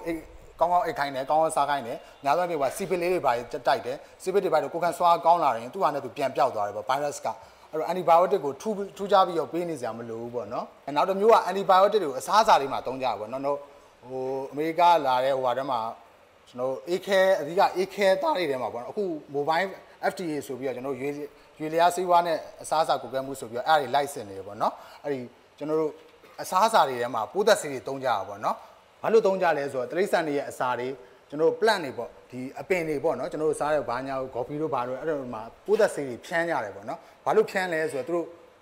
ဘာလို့ဖြန်းလဲဆိုတော့ infection ဒီမှာအပင်တွေပိုးပိုးမကြအောင်တို့ဒီတိရစ္ဆာန်တွေမှာရောကူးဆက်ယောဂမဖြစ်အောင်တို့အဲ့ဒီအတွက်ဖြန်းကြတယ်ဘာဖြစ်လို့နောက်တစ်မျိုးကဘာလဲဆိုတော့ promote growth တိရစ္ဆာန်တွေပို့ပြီးတော့ကြီးထွားလာအောင်အပင်တွေပို့ပြီးတော့ကြီးထွားလာအောင်အပင်တွေမှာကျွန်တော်တို့အစားအစာတွေထဲမှာကျွန်တော် antibiotic တွေသုံးကြရတယ်ပေါ့နော်ပဏိစီပါဆေးတွေဒါက US မှာလုပ်ထားတဲ့ star တွေပါ FIFI ဆိုတော့ Salmonella typhi ဆိုတော့ကျွန်တော်တို့ antry fever ကျွန်တော်တို့ဥယောင်ငန်းများဖြစ်စေတဲ့ကောင်တွေအဲကောင်တွေကတော်တော်များများ multi drug resistant ဆေးတွေကိုတော်တော်များများခံနိုင်သွားတယ်ပေါ့ very မှာသုံးလာဆိုတော့ဒီ four state ပဲ US မှာရှိတဲ့ပြည်နယ်လေးခုမှာလုပ်တဲ့အချိန်မှာ18ယောက်ကဘာအဲ့ဒီဘာတွေစားလဲဆိုတော့ကျွန်တော်တို့ beef ကနေပေါ့ကျွန်တော်တို့ဟိုကနေမှာမဲသားတွေဘာတွေတိုးသားတွေရရတာတဲ့အစာတွေကိုစားရင်းနဲ့ကျွန်တော်တို့ကဥယောင်ငန်းပြဖြစ်စေတဲ့အကောင်တွေအကောင်တွေတော်တော်များများ multi drug resistant ဆေးဝါးတွေတော်တော်များများရှင်ပါသွားတာကိုအမေရိကန်မှာရှိတဲ့ပြည်နယ်လေးခုမှာတွေ့ရတယ်ပေါ့18ယောက် antibiotic တွေ agriculture မှာသုံးမယ်ဘယ်မှာသုံးမလဲအသီးနှံတွေမှာသုံးမယ် vegetable တွေမှာသုံးမယ် grain တွေမှာသုံးမယ်နောက်ပြီး animal husbandry သိဆန်မွေးမြူရေးဌာနတွေမှာသုံးမယ် fan layer တွေမှာသုံးမယ် aqua culture ဆိုတာရေသက်တဝါတွေထဲမှာသုံးမယ် environment ပတ်ဝန်းကျင်တစ်ခုလုံးမှာ antibiotic တွေကတော်တော်ပြန့်နှံ့သွားပြီ။ဘာကြောင့်လို့တိရစ္ဆာန်တွေမှာ antibiotic တွေပိုးသက်ပြည့်စည်ဝါဆေးတွေဘာလို့သုံးကြလဲ။ therapeutic အနေနဲ့ဘာလို့သုံးလဲ sick animal ဆိုတာယောဂဖြစ်နေတဲ့တိရစ္ဆာန်တွေကိုကုသတဲ့အနေနဲ့ကျွန်တော်တို့ antibiotic တွေတိရစ္ဆာန်တွေမှာသုံးတယ်။နောက်တစ်ချက်က prophylaxis ရောအဲ့ဒီယောဂဖြစ်နေတဲ့ဟာတွေတိရစ္ဆာန်တွေကိုကာဝယ်တဲ့အနေနဲ့ကျွန်တော်တို့က prophylaxis ကာဝယ်တဲ့အနေနဲ့ကျွန်တော်တို့ပဋိစီဝါဆေးတွေကိုသုံးမယ်နောက်တစ်ခုက growth promotion တိရစ္ဆာန်တွေကိုကြီးထွားလာအောင် weight gain အလေးချိန်ပိုပြီးတော့စီးလာအောင် feed efficiency တော့ပို့ပြီးတော့စားလာအောင်တိရစ္ဆာန်တွေမှာ antibiotic တွေကိုသုံးကြရပါတော့။အမှနွားတွေမှာရှိနေအမှပိုးကောင်ကရင်ပါလာတယ်ရင်ပါလာပြီးတော့ အစားအစာတွေမှာရှိတယ်ပိုးကောင်ကပွားလာတယ်ပွားလာတယ်အသားတွေပါတွေမှာဒီနိုးထွက်တွေပါပစ္စည်းတွေမှာပွားလာပြီးတော့လူတွေကိုတစ်ဖြည်းဖြည်းစဉ်ကူးဆက်သွားပြီလူတစ်ယောက်ကနေနှစ်ယောက်နှစ်ယောက်ကနေသုံးယောက်ပြီးတော့ပြန့်နှံ့သွားတယ်ပေါ့နော်။အဲ့ဒါကျွန်တော် key approach to contain AMR ဆိုတာဒီ antimicrobial resistant တွေပေါ့ပရိစီဝဆေးဆေးရင်ပါတဲ့ဟာတွေမဖြစ်အောင်ကျွန်တော်ဘာလုပ်ရမလဲဆိုတော့ကျွန်တော် develop new antimicrobial ဆိုတော့ကျွန်တော်ဆေးအသစ်သစ်ထွက်ဖို့ကကျွန်တော်ရှေ့မှာပြောထားသလိုအချိန်ပေးရတယ်ပေါ့နော် new agent တွေက တော်ရုံနဲ့ထွက်မလာဘူးအဲ့အတွက်ကျွန်တော် preset effective နဲ့ရှိတဲ့ antibiotic လေးနဲ့ပဲကျွန်တော်ကောင်းအောင်သုံးမယ်ဘယ်လိုသုံးမလဲဆိုတော့ rational use of medicine ပေါ့နော်ကျွန်တော်ပဏိစီဝါဆေးကိုတေချာတောက်မယ် course ကုန်အောင်တောက်မယ်ဆရာဝန်ညွှန်ကြားတဲ့အတိုင်းတောက်မယ်ပေါ့နော်အဲ့ဒါ rational use of medicine အဲ့ဒီအတွက်သုံးမယ် infection control strategy ယောဂမဖြစ်ခင်အောင် ယောဂကူးစက်တာတွေကိုထိန်းချုပ်မယ်ကာဝယ်မယ်အဲ့ဒီနည်းနဲ့ကျွန်တော်တို့ရှိရဲ့ဈေးလေးကိုကောင်းအောင်လုပ်လို့ရတယ်ပေါ့နော်ကျွန်တော်အသစ်အသစ်ထွက်ဖို့ကကျွန်တော်အခုတိလည်းမထွက်သေးဘူးပေါ့ကုန်ကြစိတ်လည်းများတယ်အဲ့တော့ရှိရဲ့ဈေးလေးနဲ့ပဲကောင်းအောင်ဘယ်လိုလုပ်မလဲနှစ်မျိုးလုပ်မယ် rational use of medicine ကျွန်တော်ပေးလိုက်တဲ့ဈေးတွေပဏိစီဝါဈေးတွေကိုကောင်းကောင်းသုံးမယ် course ကုန်အောင်သုံးမယ်ပေးလိုက်တဲ့ဆရာဝန်ညွှန်ကြားတဲ့အတိုင်းသုံးမယ်နောက်တစ်ခုကနောက်တစ်ခုက infection control strategy ယောဂကူးစက်တာကိုထိန်းချုပ်မယ်ကာဝယ်မယ်ပေါ့အဲ့ဒီနည်းနည်းနဲ့ကျွန်တော်တို့က drug resistant ဆေးရင်ပါတာတွေမဖြစ်အောင်ကျွန်တော်တို့ကထိန်းချုပ်မယ်ပေါ့နော်တော့အဓိက1930ကျော်လောက်ကနေမှ1980က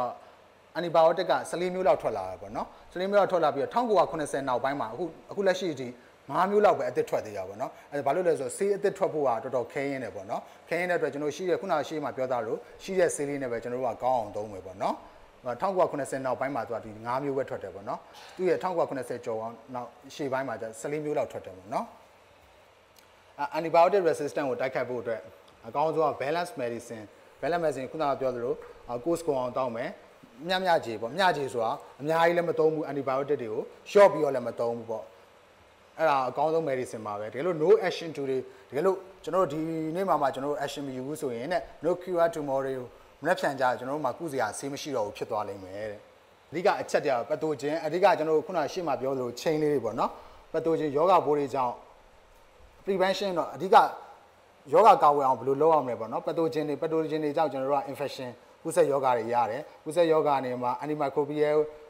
use ပိုးပနိစီဝါဆေးတွေကိုသုံးလိုက်မယ်သုံးလိုက်မယ်သုံးလိုက်ပြီးတော့ resistant ရသွားမယ်လုံးလုံးလောက်လောက်မသုံးဘူးဆိုရင် resistant ရသွားမယ် resistant ရသွားမယ်အဲ့ဒီကောင်နောက်တစ်ထပ်ပြီးတော့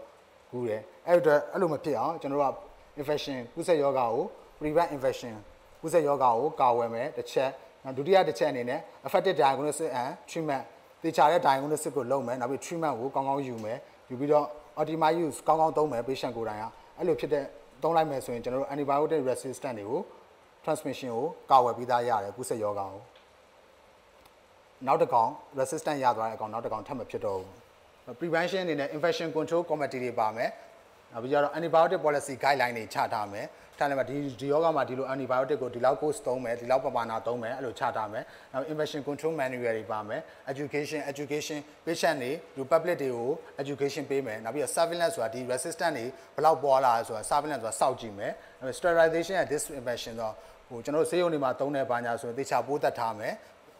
နောက် screening of blood and organ donor ဆိုကျွန်တော် လူနာတယောက်ကိုသွေးမပေးခင်သွေးတွေဘာတွေမှာသေချာ HIV တို့အသေးအောင်တော့ဘီဘိုးတို့စီဘိုးတို့တေချာ screen လုံးလို့ပဲတေချာစစ်ပြီးတော့ပေးမယ်ပေါ့နော် susceptible person ဘယ်လိုလူတွေမှာပို့ပြီးတော့ကူးစက်နိုင်လဲဆိုတော့ crowded living condition လူနေထူထပ်တဲ့စီမာနေတဲ့လူတွေမှာပို့ပြီးတော့ကူးစက်နိုင်တယ်နောက်ပြီးတော့ challenge challenge in maintaining cleanliness and personal hygiene personal hygiene ညံ့တဲ့လူတွေမှာကျွန်တော်တို့ကဒီယောဂဘိုးတွေပို့ပြီးတော့ကူးစက်နိုင်တယ်နောက်ပြီးတော့ lateral access to health care ကျွန်တော်တို့ကျန်းမာရေးဘူးတုဒနေတဲ့လူတွေမှာပို့ပြီးတော့ယောဂဘိုးတွေကူးစက်နိုင်တယ်ပေါ့အဲ့လိုမဖြစ်အောင်ဘယ်လိုလုပ်ရမလဲဆိုတော့ clean hand လက်ကိုသေချာဆေးပါနောက်ပြီးတော့ good personal hygiene ကိုကိုကို personal hygiene ကောင်းအောင်နေပါနောက်ပြီးတော့ strong immune system strong immune system ကိုခံစွာစနစ်ပို့ပြီးတော့ကောင်းလာအောင်လုပ်ပါအေးဝါအေးပါအစားကောင်းအောင်စားပါနောက်ပြီးတော့ appropriate antibiotic use တိကျတဲ့ပြည့်ပြည့်ဝဝပနိစီဝါဆိုးတွေကိုသုံးမယ်ဆိုရင်လည်းပြည့်ပြည့်ဝဝသုံးပါလို့ဒါအဓိကဆေးရုံတွေမှာကူးဆက်နိုင်တဲ့နေရာတွေပေါ့နော်ကျွန်တော်တို့လူနာတွေချက်တွေတွဲထားတဲ့ချက်တွေကနေမှသဆင့် ကိုလာပြီးတော့ကူးနိုင်တယ်နောက်ပြီးတော့ဒီ table တွေပေါ့ဇပွဲတွေကနေမှကူးနိုင်တယ်နောက်ပြီး TV ခလုတ်တွေပေါ့နော်အဲ့ဒါတွေမှကူးနိုင်တယ်ဒီဇပွဲတွေဇပွဲတွေလက်တွေကနေကိုကသွားကင်လိုက်မယ်ကိုကပြင်တွေကဆေးရင်ပါလာတဲ့အကောင်တွေကကိုယ့်စီကိုရောက်လာမယ်ပေါ့နော်ဒီ TV ခလုတ်တွေဒီလူနာရဲ့ဘေးမှာပက်ပက်လက်မှာရှိရဲ့ဆေးရုံမှာရှိရဲ့လူနာဘေးမှာပက်ပက်လက်မှာရှိရဲ့ကောင်တွေကကိုယ့်ယောဂဖြစ်စေတဲ့နိုင်ဟာနေပေါ့ကိုလာပြီးတော့ကူးဆက်မယ်လို့နော်နောက်ပြီးကြတော့ တယ်လီဖုန်းလက်ကင်နေနောက်ပြီးကွန်ပျူတာ keyboard တွေသဆင့်ကိုလာကူးမယ်ဒီကလတိုင်တွေကနေမှသဆင့်ကိုလာကူးမယ်ဒီလူနာပေးတဲ့ dress stand တွေကနေမှသဆင့်ကိုလာကူးမယ်ကိုကလက်ကနေကင်လိုက်တယ်ဆိုရင်နောက်ပြီးကြတော့ဘာလဲကူးနိုင်လဲဆိုတော့ချက်ပေါ့နော်တယောက်နဲ့တယောက်ကိုခန့်ထန့်နေရဆိုဆရာဝန်တယောက်ကလူနာတယောက်ကိုကူးနိုင်အဲ့လူနာနေမှာကိုယ်စီကိုလာပြီးတော့ကူးနိုင်တယ်နောက်ပြီးတော့ PP ကတ်တွေပေါ့နော်သွေးပေါင်ချင်းတဲ့ဟာတွေကနေကူးနိုင်တယ် green တွေကနေလည်းကူးနိုင်တယ်ဟိုလူနာ table တွေကနေလည်းကူးနိုင်တယ်ပေါ့နော်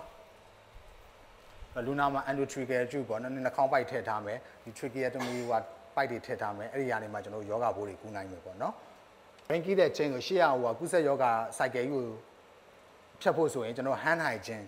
လက်ကိုတေချာ view site ပါလက်တေချာဆေးပါနောက်တစ်ချက် infection control ယောဂကိုစက်တာကိုတေချာ control လုပ်ပါနောက်တစ်ချက်က environmental cleaning ပတ်ဝန်းကျင်တန်ရှင်းရေးပတ်ဝန်းကျင်ဟိုတန်ရှင်းရေးကိုတေချာ view site ပါနောက် patient education ကျွန်တော်လူနာတွေကိုလည်းတေချာ educate လုပ်ပါပေါ့ clean hand safe life ဆိုတာ လက်တွေဆေးတဲ့ဆိုရင်ဘွားတွေအများကြီးကိုကယ်တင်ရရောက်ပါတယ် Eco Office ကျွန်တော်အခုလောလောဆယ်လွယ်ကူတာ Eco Office hand sterilizer လေးတွေပေါ့နော်ကျွန်တော်ဟိုဘူးလေးတိတိလေးနေเนาะလက်ဆေးတာကျွန်တော်တခုကင်မယ်အစားတော့မစားခင်ဘာညာမှာလက်တွေပါရေးသေချာဆေးမယ်ပေါ့နော်အဲ့ကောင်ကဘာလဲဆိုတော့သူက Eco ကိုခြေခံပြီးတော့ထုတ်လုပ်ထားတဲ့အတွက်အဲ့ဒီကောင် greater microbicidal effect ဆိုတော့ပိုးတွေကိုတော်တော်များများသိစေနိုင်တယ်ပေါ့နော်သိစေနိုင်ပြီးတော့ prolonged residual effect တို့သုံးထိုင်အချိန်ကြာကြာကြီးသူကသူ့ရဲ့ကာဝယ်တဲ့ effect ကိုပို့ပြီးတော့ရတယ်ပေါ့နော် နောက်တစ်ခါ easy to use ပို့ပြီးတော့သုံးပြရတယ်လွယ်တယ်နောက်ပြီးတော့လွယ်လွယ်ကူကူပဲသုံးလို့ရတယ်ပေါ့နော်ဒါ Eco Office hand hygiene solution လေးတွေကိုပြထားတာပါဒါကျွန်တော်တို့ OT တွေဘာတွေတဲ့မဝင်ခင်လက်ကိုသေချာဆေးတာပါဆရာဝန်တွေလူနာပြုတွေပါလက်ကိုသေချာဆေးတာပါနော်ခုန precaution ရော drug resistant pathogen များသောအားဖြင့် drug resistant pathogen ဆေးရုံတွေကနေမှတချင်းကူးဆက်တတ်တယ်အဲ့တော့ကျွန်တော်တို့က entry into the patient ကိုကျွန်တော်လူနာအခန်းထဲကိုမဝင်ခင်ကျွန်တော်ဒီ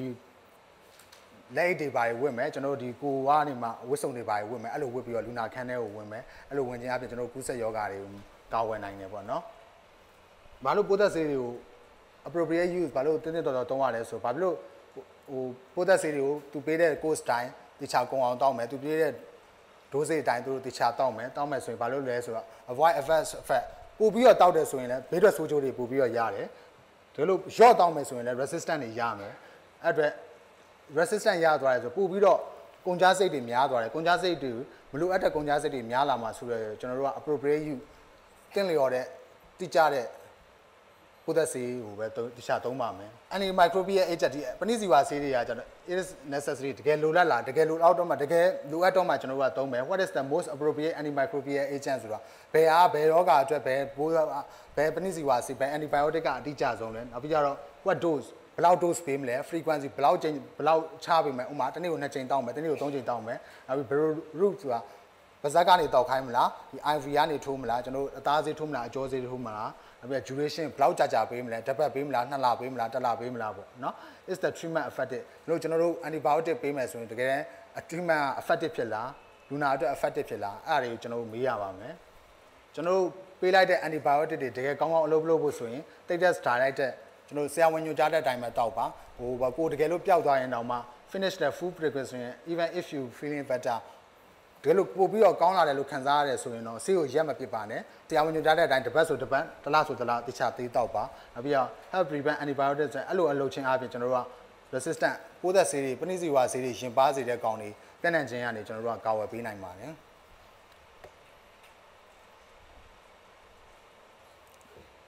အားလုံးပဲကျေးဇူးတင်ပါတယ် ဒေါက်တာရှင်တဲ့စေဝါဆိုတာတဲ့အစိတ်ပါပဲဆိုရင်တဲ့စေဝါနဲ့အစိတ်မြည်တို့ခွဲခြားပြရမည်ကျွန်တော်ရှေ့မှာပြောသလိုပေါ့နော်စေဝါဆိုတာတိုင်းတော့အစိတ်အစိတ်ပဲပေါ့နော်ကျွန်တော်စေဝါနဲ့အစိတ်ကဘယ်လိုခွဲလဲဆိုတော့သူကစေးအချိန်စားနဲ့ပမာဏပေါ့နော်ကျွန်တော်စေးအချိန်စားနဲ့ပမာဏပေါ်မှာမူတည်ပြီးတော့စေဝါနဲ့အစိတ်ကိုခွဲပါတယ်ကျွန်တော်ပုံမှန် နှလုံးယောဂဆေးတွေပေါ့တချို့တကောက်စင်လောဟာမျိုးပေါ့နော်အဲ့လိုဆေးတွေကြာသူကအဲ့လိုဆေးတစ်ခုပေးမှဆို therapeutic index ဆိုတာရှိတယ်ကျွန်တော်ကဒီပမာဏပေါ့နော်ဒီပမာဏရောက်တော့မှကျွန်တော်တို့ကဆေးရသူ့ရဲ့ action ကိုပြမယ်သူ့ရဲ့ action ကိုပြမယ်သူဒီယောဂအတွက်ဒီသူ့ရဲ့ action ကိုပြမယ်တကယ်လို့ app ပမာထားတဲ့ကြော်သွားပြီး side effect ပေါ့နော် toxic effect လို့ခေါ်တယ် side effect ပေါ့သူရဲ့ behavior ဆိုးကျိုးဖြစ်မယ်ကျွန်တော်တို့အဲ့ဒီ window တွေ therapeutic window လို့ခေါ်တယ်ကျွန်တော်တို့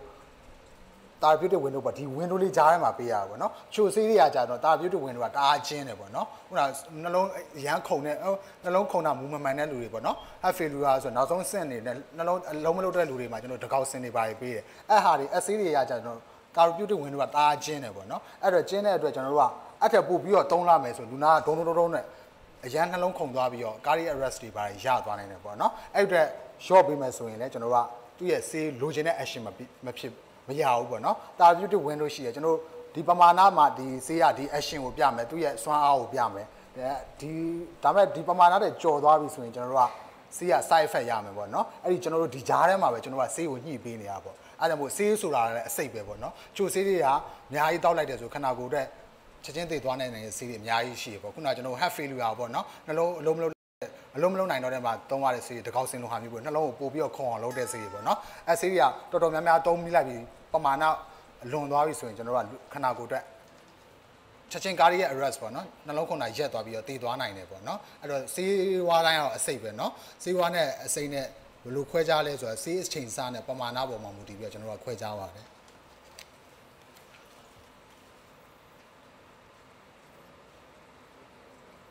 နောက်မေးခွန်းလေးတစ်ခုကဟာဟယ်လိုစီလန်ကြောင်ပိုးဝင်ခြင်းဖြစ်ပေါ်ပုံကိုတဲ့ အသေးစိတ်သိလိုပါသည်တဲ့ဖြည့်ရှင်းပေးပါရှင်းတော့ကျွန်တော်များသောအားဖြင့်အမျိုးသမီးတွေနဲ့အမျိုးသားမှာဆိုရင်အသက်50အောက်ဆိုရင်အမျိုးသမီးတွေကစီလန်ကြောင်ပိုးဝင်တာတော်တော်များတယ်ပေါ့ဘာဖြစ်လို့လဲဆိုတော့စီလန်ကြောင်အမျိုးသားတွေဆက်ဆိုင်စီလန်ကြောင်တူလို့ပေါ့နော်နောက်တော့ပြင်အမျိုးသမီးစီလန်ကြောင်ပိုးဝင်တော့ white တစ်ချက်ပေါ့ဖြူတွေပါရေးဆင်းမယ်စီးပူတယ်စီးကျင်တယ်စီးရောက်နေပေါ့နော်အဲ့လိုဖြစ်တယ်အမျိုးသားတွေကြတော့အသက်50ကျော်ရင်အမျိုးသားတွေကအမျိုးသမီးတွေတက်ပို့ပြီးတော့စီလန်ကြောင်ပိုးဝင်တာပို့ပြီးတော့ဖြစ်တယ်ပေါ့ဘာဖြစ်လို့လဲဆိုတော့အဲ့ဒီစီးကျိတ်ကင်ဆာတို့စီးကျိတ်တွေရောင်းလာတယ်စီးကျိတ်တွေရောင်းလာတဲ့စီးသွားရင်မဝါတော့ဘူး စီးသွားတာအားမရတော့အဲ့တော့စီးရီးယားအတွင်းထဲမှာကျန်နေတယ်ကျန်နေတော့ပိုးတွေပို့ပြီးတော့ပေါက်လာတယ်အဲကြောင့်အမျိုးသားအသက်50အထက်အောက်ကိုခွဲလိုက်တယ်ပေါ့နော်အသက်50အောက်မှာဆိုအမျိုးသမီးတွေကစီလန်းချောင်းပိုးဝင်တာပိုဖြစ်တယ်အသက်50အထက်ဆိုရင်အမျိုးသားတွေကပိုပြီးတော့စီလန်းချောင်းပိုးဝင်တာဖြစ်တယ်ပေါ့နော်အဲစီလန်းချောင်းကအဓိကဟိုပေါ့ဟို PHK တို့အမျိုးသမီးတွေဆိုရင်နော် PHK တို့လက်တစစ်တို့ဘာအဲ့ဒါတွေဟိုရေချိုးပြီးတိုင်းဘာညာပေါ့တခြားလေးသုံးပြီးပေါ့အဲ့ဒါဆိုရင်တော့ရပါတော့နောက်ရေလေးများများလေးတောက်ပြီးပေါ့နော်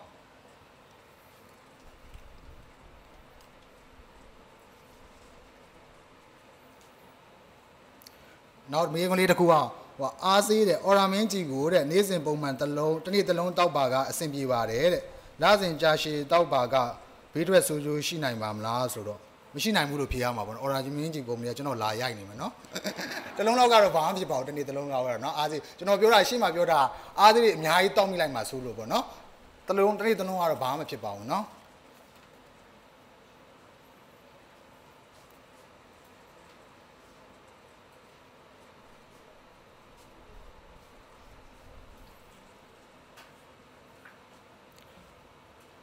နောက်မေးခွန်းလေးတစ်ခုကဟိုပနက်စလင်ကိုတဲ့စက်မတော့ပဲနှစ်လားလောက်ဖြတ်ထားမိပါတယ်တဲ့ပြန်တော့မယ်ဆိုရင်တဲ့စီးဆက်ပြီးမှတောက်ရမှာလားတဲ့ဆရာဒါမှမဟုတ်ဒီအတိုင်းပြန်တောက်ရမလဲဆိုတာသိချင်ပါတယ်တဲ့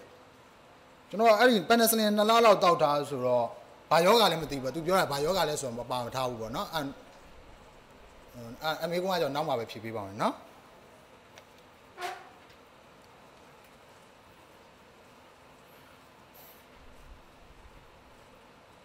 ဟောဆရာရှင်နဲ့နောက်ပြီးတော့ကျမအမျိုးသားကတဲ့ same company ကရတဲ့အသေးအားစေးတွေအများကြီးယူလာပါတယ်အလကားရလို့နေမောသူကတော့မတော့သူကတော့မတော့ပါဘူးတဲ့ကျမအညွန့်ဖက်ကြည့်တော့မူပါတဲ့ဟာဆိုမူပါတဲ့ဟာစိုးစွေးတွေစားထားသူအသေးမကောင်းတဲ့သူတွေအတွက်ထုတ်ထားတဲ့အတွက်ကျမတောက်သုံးလို့ရပါမလားတဲ့စိုးကျိုးဖြစ်နိုင်ပါမလားတဲ့ဟိုသူကနော်အညွန့်အညွန့်ဖက်ကြည့်တော့သူက မှုပါတဲ့ဟာတွေစားတဲ့ဟာပေါ့နော်စိုးစေးတွေစားတဲ့ထားတဲ့သူမှုပါတဲ့ဟာတွေစားတဲ့လူစိုးစေးတွေထားတဲ့လူအသေးမကောင်းတဲ့သူတွေအတွက်ထုတ်ထားတဲ့အတွက်ကျွန်မတောက်သုံးလို့ရပါမလားဆိုတော့ကျွန်တော်အသေးကကျွန်တော်တို့ကဘာလို့ခေါ်လဲဆိုအင်္ဂလိပ်စကားမှာပေါ့ alive free life ဆိုတာအသက်ရှင်နေထိုင်တာပေါ့နော်အသေးကိုကျွန်တော်တို့ကဟိုစေပညာတန်း American တန်းရဘလို့ခေါ်လဲ alive free က liver ပေါ့နော်ဘာလို့ liver လို့ခေါ်လဲအသက်ရှင်နေထိုင်ဖို့တော်တော်များများအသေးကလုပ်ပြီလို့ပေါ့နော်အသေးရဲ့လုပ်ငန်းဆောင်ထောင်တွေရဲ့လုပ်ငန်းဆောင်တာတွေကအများဆုံး900နဲ့600လောက်ထိရှိရပေါ့အဲဒါကြောင့်မို့ သူက LIV လိုက်အသက်ရှင်နေတိုင်းတယ် LIV က liver အဲဒါအသေးလို့ပေးတာပေါ့လူလူလူတယောက်ရဲ့အသက်ရှင်နေထိုင်အောင်လုပ်ငန်းဆောင်တာတွေအများကြီးလုပ်ပေးရပေါ့နော်ကျွန်တော်နေ့စဉ်စားတဲ့အစားတွေမှာအစိတ်အတောက်တွေဖြစ်တယ်ဆိုရင်ကျွန်တော်တို့ကအသေးမှာခြေဖြတ်ပေးရတယ်ဒီလိုခန္ဓာကိုယ်မှာသွေးရည်စိမ့်မှုတွေပါတယ်ဖြစ်လာတယ်ဆိုရင်အသေးကနေမှတွေးတိတ်တဲ့ factor တွေပေါ့တွေးတိတ်တဲ့အချက်လက်တွေဗီတာမင် K လိုဟာမျိုးတွေပါတယ်ထုတ်ပေးရတယ်ပေါ့နော်အဲ့တော့အသေးကအများကြီးလုပ်ရတဲ့အတွက်အသေးရဲ့လုပ်ငန်းဆောင်တာတွေအများကြီးလုပ်တဲ့အတွက် alive live အသက်ရှင်နေထိုင်တာ alive က liver အဲ့တော့အသေးလို့ပေးတာပေါ့နော် ဟိုအခုလောလောဆယ်ဟိုဘာမှမရှိရင်တော့မတောက်တာပဲကောင်းမှာတယ်เนาะအသေးကတော့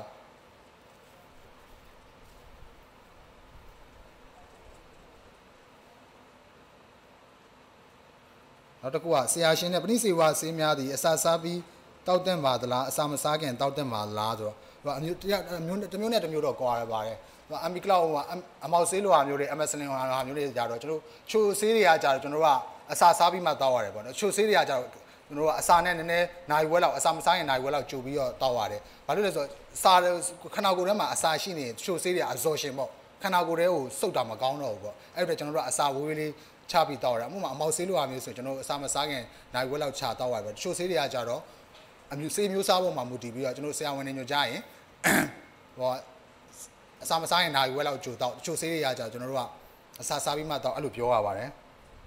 အဲ့တော့ကျွန်တော်ပဋိစီဝါဆေးများလို့သူကရေးထားတဲ့အတွက် ဆေးမျိုးစားနဲ့တမျိုးစားနဲ့ကွာပါတယ်ခုနကကျွန်တော်ပြောလို့အမောက်ဆေးလိုဟာမျိုးအမ်ဘီကလောက်လိုဟာမျိုးပနက်ဆလင်လိုဟာမျိုးကကြာတော့ကျွန်တော်တို့ကအစာမစားခင်နိုင်ဝဲလောက်ကြိုတောက်တဲ့တယ်လို့ပြောပါတယ်ဘာလို့လဲသူကအစာရှိနေတယ်ဆိုရင်သူ့ရဲ့ absorption ကိုနှေးသွားတယ်သူခန္ဓာကိုယ်ကနေစုပ်တာအမောက်ဆေးတို့အမက်ဆလင်တို့ကိုစုပ်တာကိုနှေးသွားတဲ့အတွက်အစာနဲ့နည်းနည်းလေးချားတော့ပေါ့အဲ့တော့ကျွန်တော်ကစာနဲ့ချားတော့ဆိုတော့ဘယ်လိုပြောရလဲဆိုတော့ထမင်းမစားရင်နိုင်ဝဲလောက်စောတော့ပေါ့နော်အဲ့လိုပြောရတယ်ပေါ့နော်အဲ့တော့သူကပဏိစီဝါဆေးများလို့ရေးထားတဲ့အတွက်ဆေးမျိုးစားနဲ့တမျိုးစားတော့ကွာတာပေါ့ဟိုဥမာအမောက်ဆေးနေတယ်တော့ဥမာပြောပြီး ဥမာပေးပြီးပြောလိုက်တာပါဒေါက်တာရှင်နဲ့ဟိုအကောက်အကြိုက်ခဲပြောက်ဆေးတွေရဲ့ဘေးရွက်ဆိုးကျိုးကိုသိချင်ပါတယ်တဲ့ပြောကြပေးပါရှင်အဲ့ဒါကြောင့်နောက် topic တစ်ခုဖြစ်သွားပြီပေါ့နော်ဟုတ်ကဲ့နောက်ကြမှာပြောမယ်ပေါ့နော်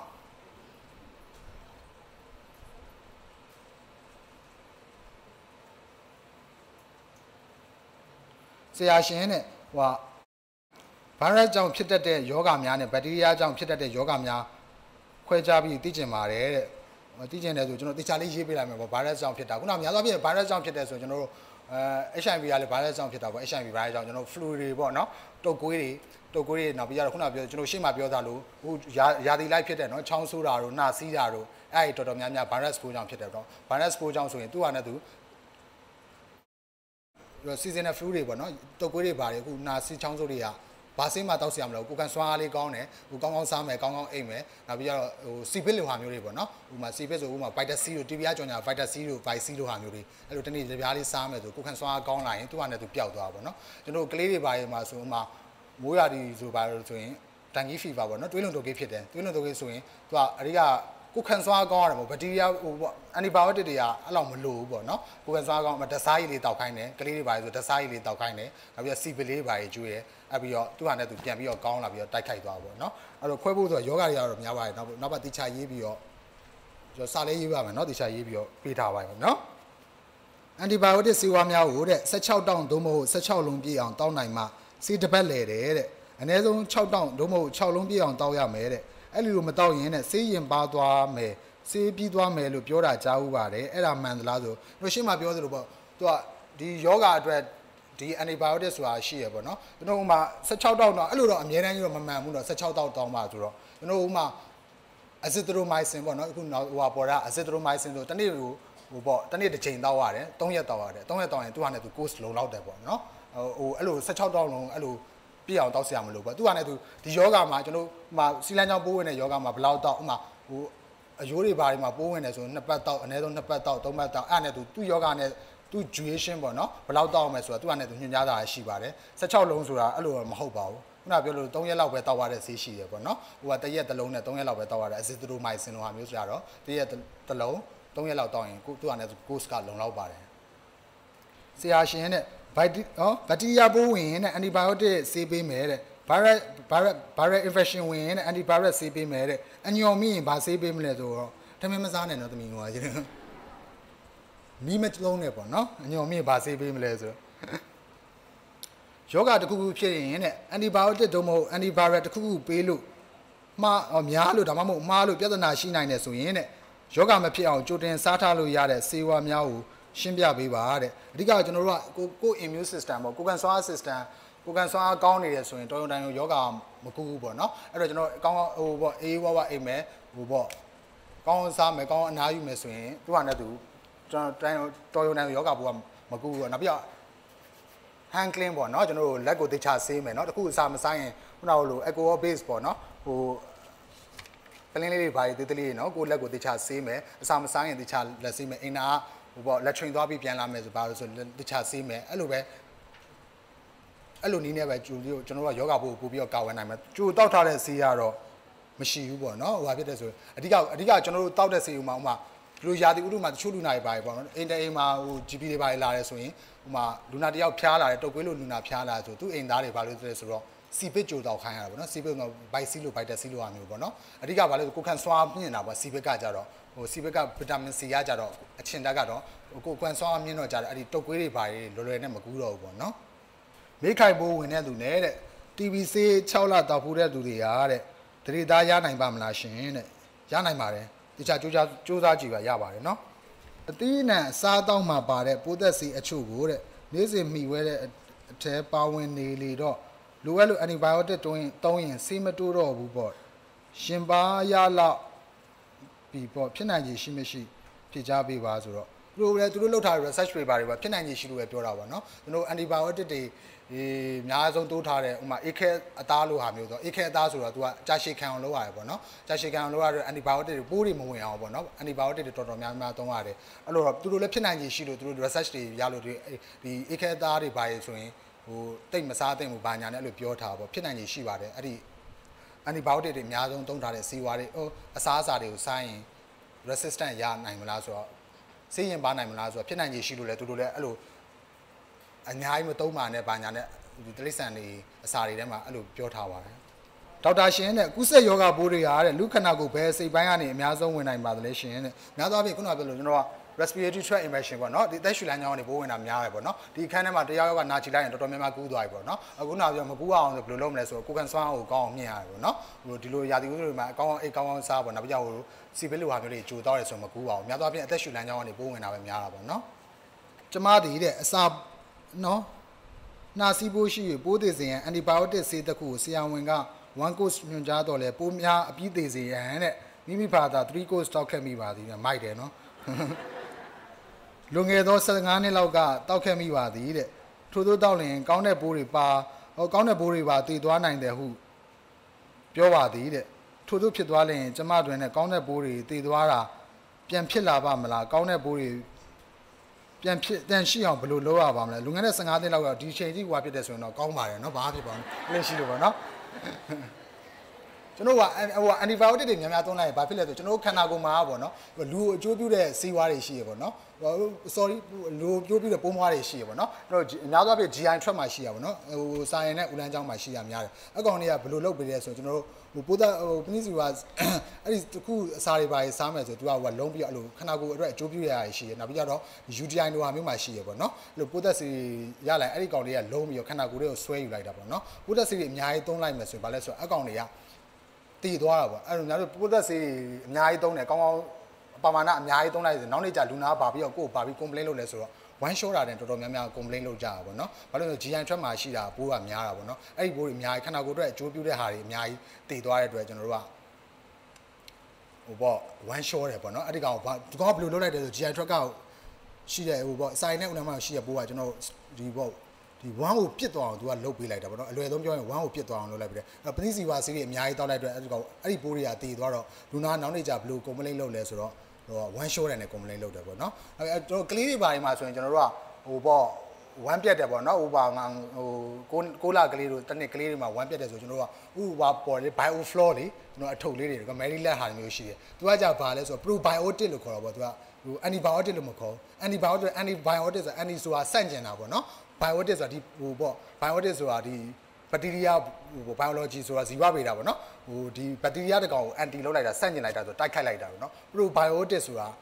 သူကအစပြီးလိုက်တာပူပူပူလေးကိုခန္ဓာကိုယ်ထဲကိုထည့်ပေးလိုက်ပါတော့နော်ကျွန်တော် Medilet ဆိုအထုပ်သေးသေးလေးရှိရလေဟို Bioflow တို့ဟာမျိုးတွေအဲ့ကောင်တွေဟို one shot ရဲ့ကလေးတွေဘာတွေမှာပေးရပါလို့လို့ဆိုတော့သူ့ခန္ဓာကိုယ်မှာအကျိုးပြုတဲ့ဘက်တီးရီးယားပိုးလေးကိုရောက်သွားအောင်ပေါ့ဘက်တီးရီးယားပိုးလေးတွေထည့်ပေးတာပေါ့နော် ဟိုအဲ့ဒီဟာအတွက်သူက one shot တာခုနပြောသလို one ကပြစ်သွားပြီးတော့မလျှောတော့ဘူးပေါ့နော် Medilet တို့ Bioflow တို့ပေးတယ်ဆိုတာ